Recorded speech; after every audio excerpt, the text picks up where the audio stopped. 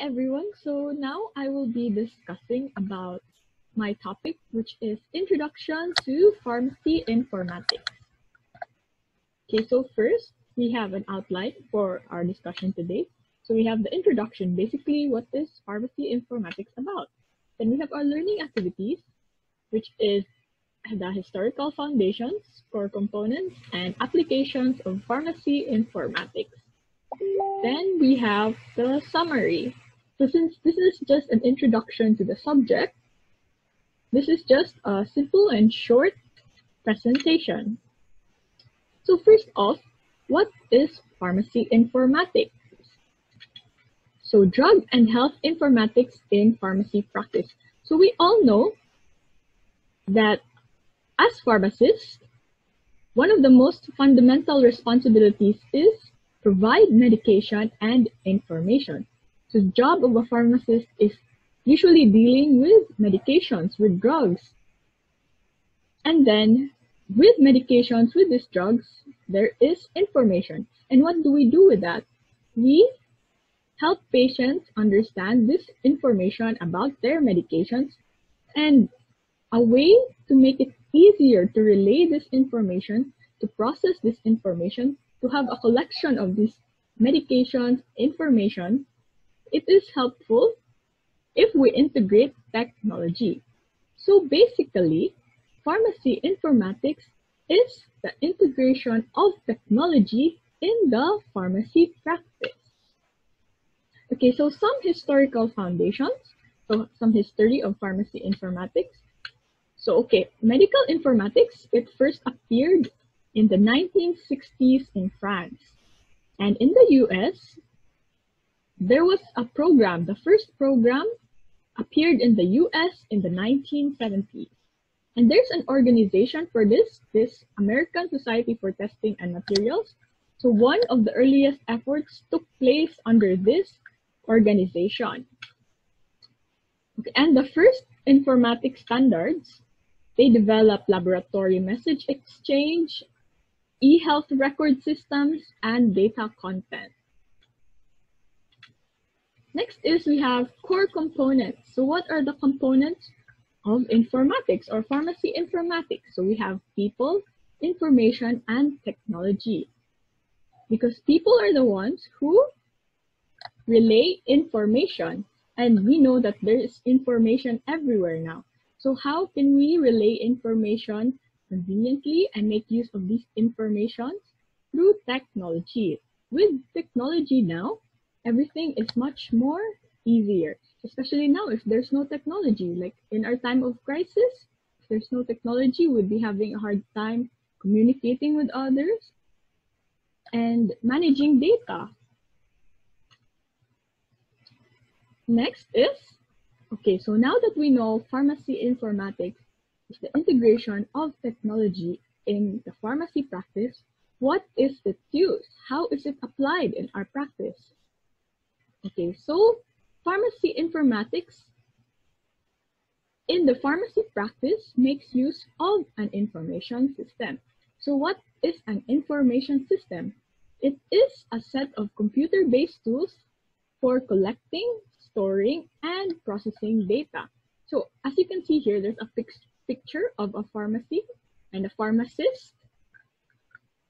So as you can see there, she has a computer already. So, and when you go inside any pharmacy, you can see that they make use of computers now. What does what do these computers do? They collect, store, and process data. Collect data for the products, the medications, storing it, and processing it. So without pharmacy information system, what would happen? Or before, when there was still no technology, when everything was still manual labor. So without pharmacy information system, it will be time consuming. So like in pharmacies, there's an inventory system. So without it, it will be harder to locate to do inventory. You will have manual labor, meaning if you're looking for this medication, you would still search for it. Oh, where is it placed? Uh, You will, it will take time. And then it will be inconvenient because you're doing things in a long process. Like inventory itself takes a long process. And also, uh, I placed a calculator there because if we have technology like those computers in the pharmacy, which has softwares already, um, computing for discounts like senior discounts or PWD discounts, it will easily compute it for you. Unlike without those softwares, you will still manually calculate it. You will still, oh, 10 times, etc. to get your discount. And that would take some time. What if you accidentally mistype your price? So it would also be prone to error. Next is However, with pharmacy information system, it will be convenient. Why? Why will it be convenient? Everything is already in the software. You can see there from prescription gathering, product listing, etc. It will all be there. The inventory, you can even put your inventory stock there. Doing inventory would be much easier. So it would be, you would be doing less labor. It and then you will have an ease of monitoring because there's already a list of products. You can check the prices there. You can see where the storage of each medications are. So what else? So the pharmacy information system can be used to manage prescription for patients. So it is for the prescription management. So in a software, in an information software, you can already store prescription of the patients like a prescription book. So a prescription book, usually the FDA looks for a prescription book.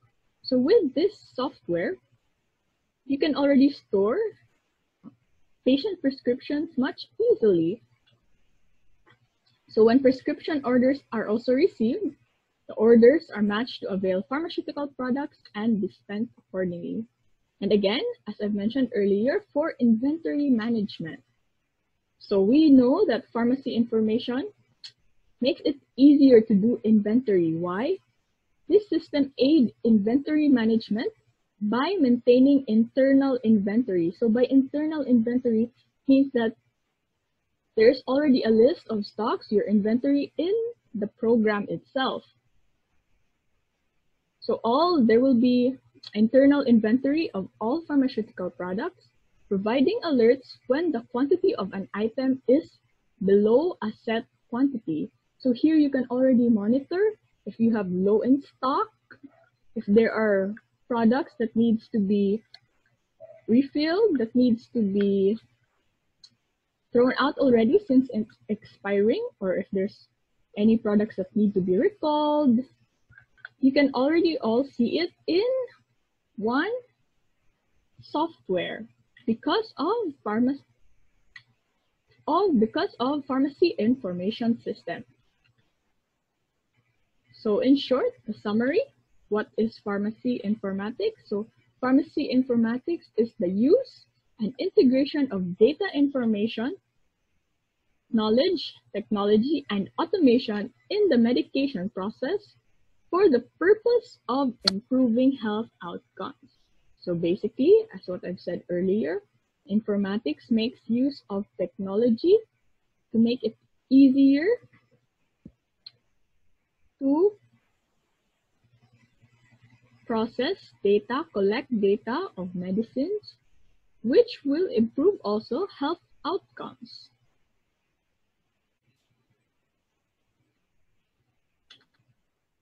So now I will be showing or demonstrating uh, an example of a pharmacy software that's being used here in community pharmacies in the Philippines.